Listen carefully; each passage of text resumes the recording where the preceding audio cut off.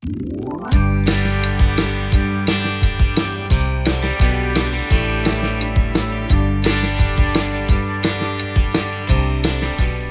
ihr Lieben, herzlich willkommen zu meinem neuen YouTube-Video. Mein Name ist Verena, ich bin unabhängige Stampin'-Up-Demonstratorin und begrüße euch in meinem kreativen Chaos. Heute ist wieder ATC Mittwoch und ich habe noch von meiner letzten Kartenbastelaktion ähm, habe ich noch diese Rehlein übrig.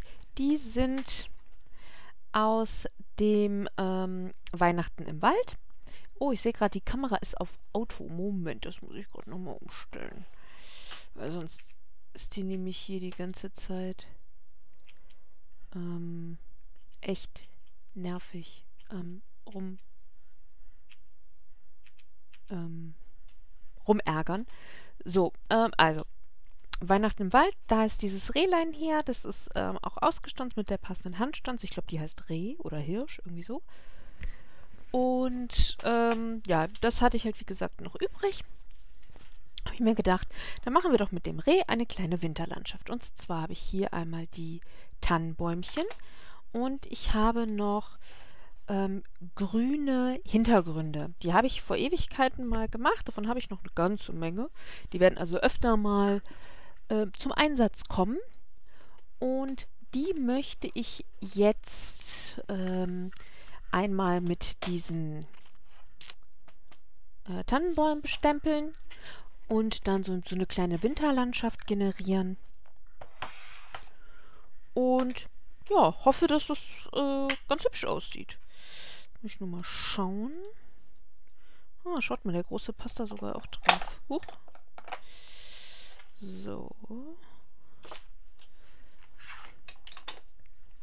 Und zwar nehme ich mir für die Tannenbäume einmal Lodengrün.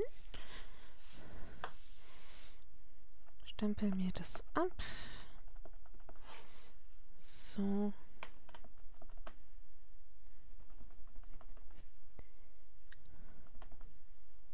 Na. So. Muss ich nur gucken, dass ich auch treffe.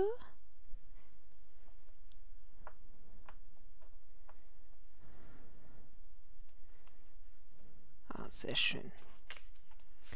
Und den hier nehmen wir gleich auch. Ihr könnt da auch theoretisch zum Beispiel ein Grau nehmen. Das sähe bestimmt auch richtig schick aus.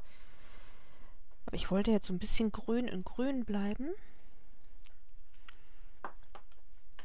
Und so, das mache ich gleich sauber. Zack. Ähm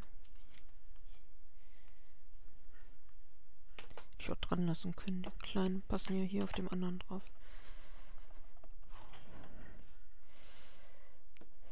So, ich möchte nämlich im Vordergrund möchte ich nämlich mit Seidenpapier noch eine Schneelandschaft gestalten.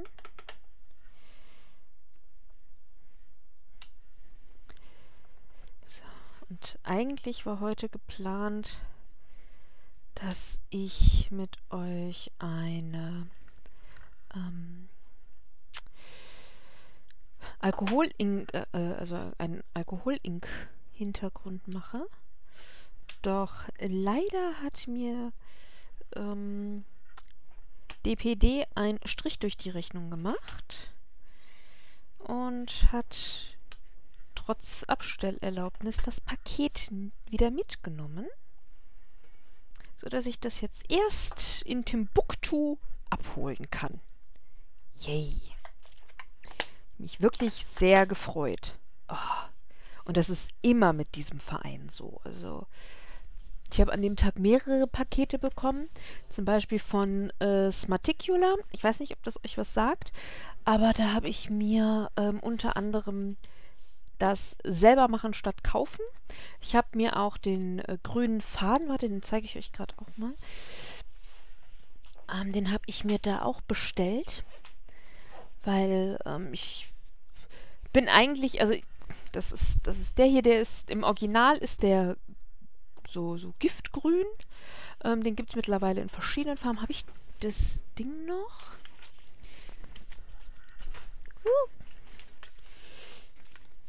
Hier, also den gibt es mittlerweile in verschiedenen Farben. Ich habe pff, morgen, morgengrau oder irgendwie sowas. Morgen, Morgendämmerung, keine Ahnung.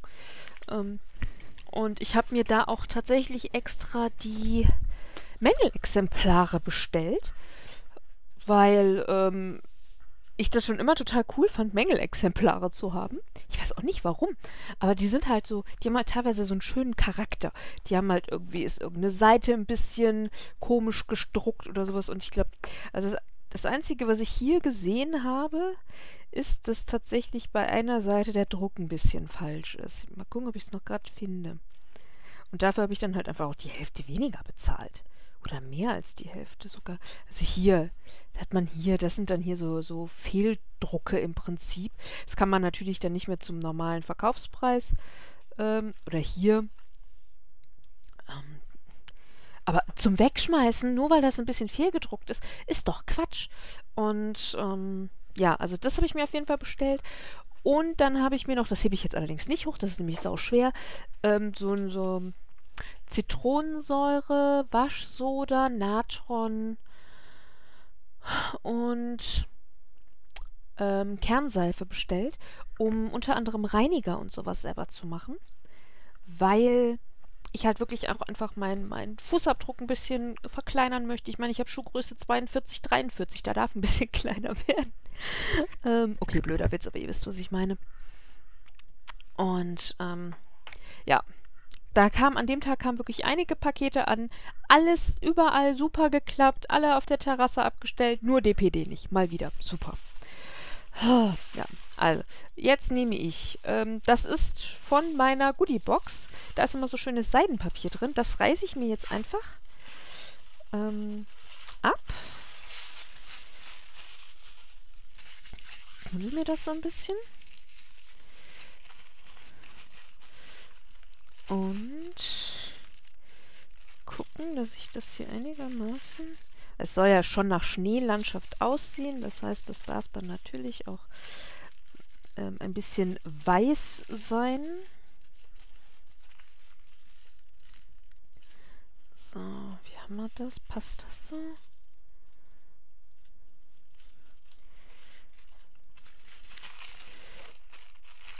Wie, wie groß darf das denn sein?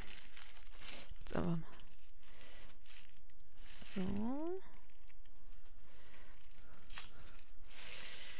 Und dann legen wir das hier so rein. Und noch mehr reinlegen. So, richtig schön lagenmäßig arbeiten. Andersrum, dann haben wir da keine so krasse Kante. So, Moment. Ich arbeite übrigens wieder an einem nächsten äh, Projekt. Und zwar habe ich angefangen, das zeige ich euch gleich. Nicht hier, ich meine auch immer 25.000 Sachen gleichzeitig. So, erstmal hier. Klebe, das ist ganz normales Abreißklebeband. Da klebe ich mir jetzt ab. Wo warte ich? Nehme. Nee, doch, das. Das ganz dicke, das ist zu dick. So. Kommt hier einfach drauf. Ähm, auf jeden Fall habe ich oder bin ich dabei, mir für das Jahr 2022 ein kleines Büchlein anzulegen, in dem ich für jeden Tag einen ähm, einen Sketch, also ein, ein Kartensketch hin, also fertig mache.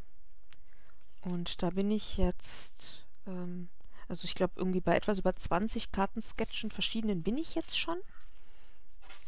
Und ja, mal sehen, was das so gibt.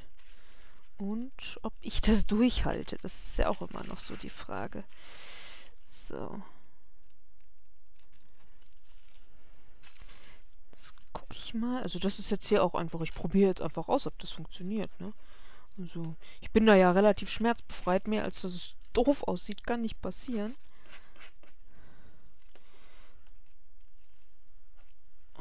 daher schauen wir einfach mal.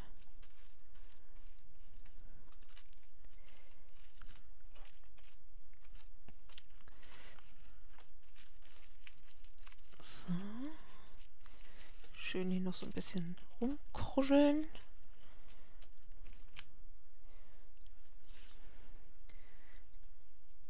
hier das Reh Es sieht schon interessant aus. Also, ich meine, das gewinnt vielleicht keinen Schönheitswettbewerb. Aber ich finde es ganz neckisch. So, das schneide ich jetzt hier einfach mal ab.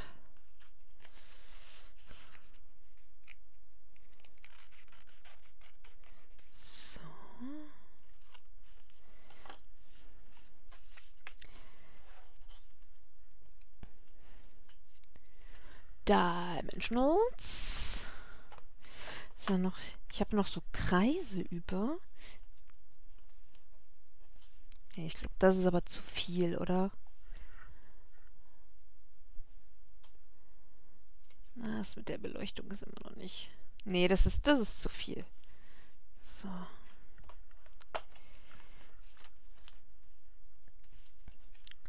So, dann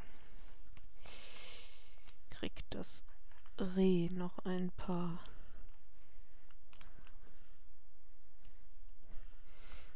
Vergrößerungen. Plateauschuhe oder so. Und dann... Ah, ich habe noch was vergessen. Und zwar habe ich in meinem letzten Video ja gesagt, dass ich diese Glitzerfarbe habe. Die... Da ist sie. Dies, äh, das ist All Pros Ink, das ist Champagner Mist.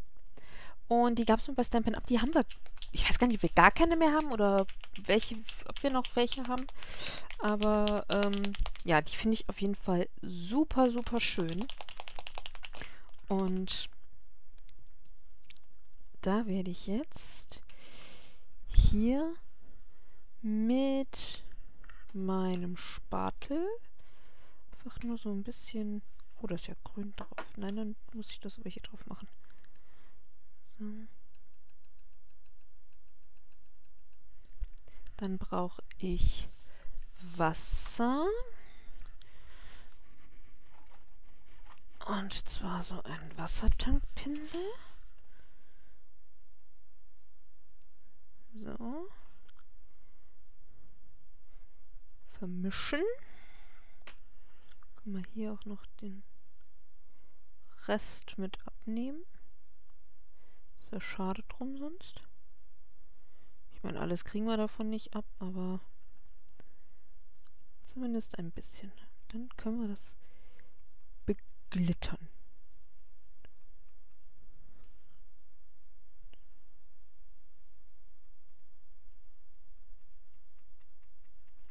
So, gucken wir mal. Da geht noch was.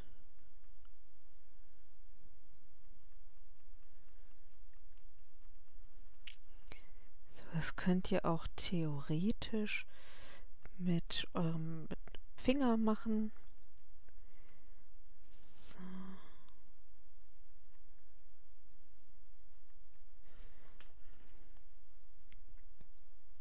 Ja, so, jetzt machen wir hier aber noch, noch ein bisschen mehr. Meine, es ist Schneelandschaft. Und hier machen wir es auch. Hier lasse ich jetzt mal den Schnee weg. Einfach um den Unterschied zu haben.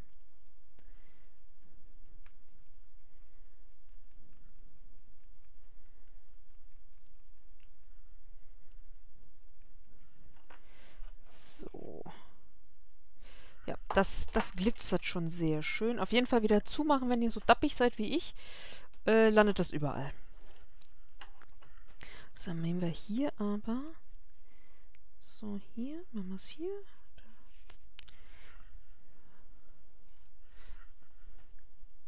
Ich glaube, hier lass... Genau, hier nehme ich den mit dabei. Einfach, dann haben wir zwei verschiedene Varianten.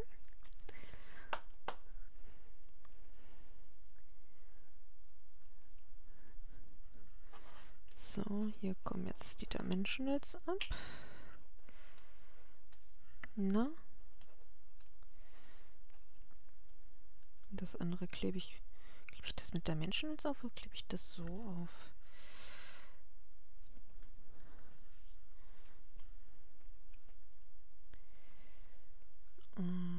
Ne, ich glaube, das klebe ich so auf.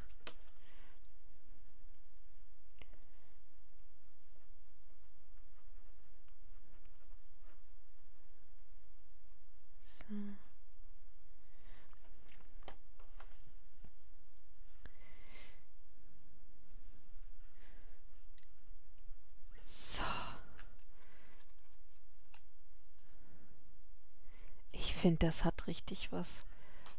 Es kommt jetzt, ich muss mal hier das Licht wieder ein bisschen dunkler machen. Ich glaube, das ist wieder zu hell.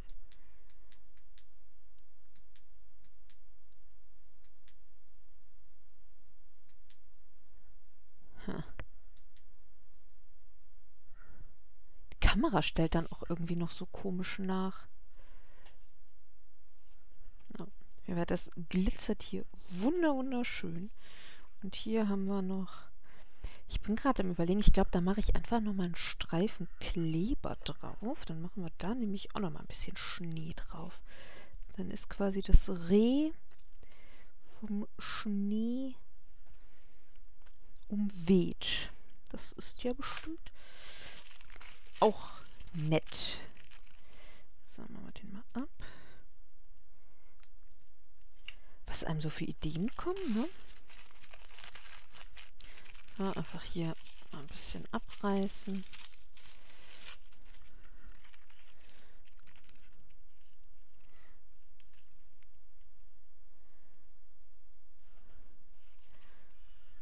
So.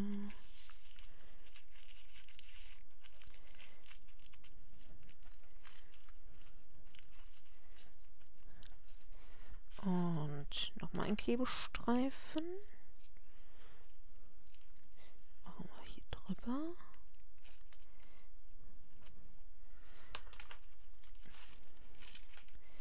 Müssen wir hier nochmal abmachen.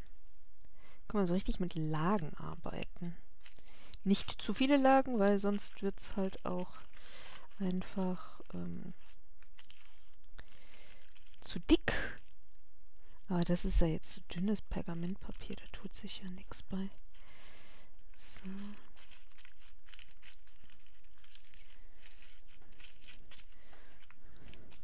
Haben wir hier so eine richtige... Ich meine, klar, in der Hülle wird es natürlich platt gedrückt. Aber so finde ich das schon ganz cool. So.